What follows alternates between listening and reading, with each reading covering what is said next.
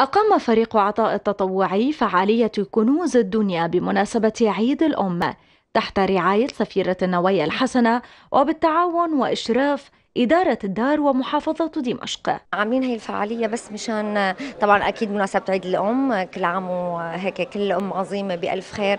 حبينا نكون إحنا مع مع أمهات آه، كبار بالسن اللي فيهم لهم لهم لهم لهم لمسة حنان وعطاء. حبينا نحن نكون معهم ونشاركهم نحن بهذا بهذا اليوم الجميل والرائع.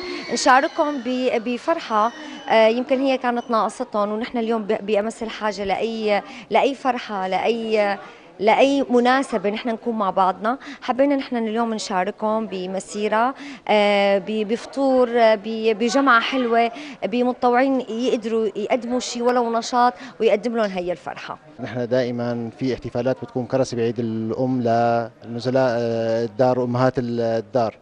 اللي طبعا بنأكد من خلال نحن عطائنا اليومي لأمهاتنا لكن بنخصص بهاليوم بهذا الذات تحديدا.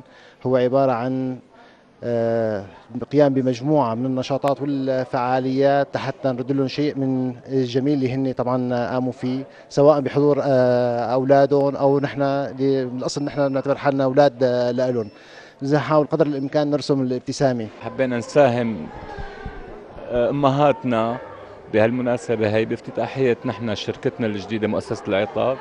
اليوم بهالفعالية الفعالية بدأت بمسير من مقر الدار إلى منطقة الشام القديمة حيث تضمنت من الأنشطة غناء طربي وحكواتي ومشاركة المسنين الفطور ومن ثم العودة للدار. الفعالية هي بمناسبة عيد الأم، نحن بنفتقر لدور بس فيها يكون أمهات عجزة أو أيتام ما عندهم أولاد، فنحن استهدفنا دار الكرامة اللي هو للمحافظة.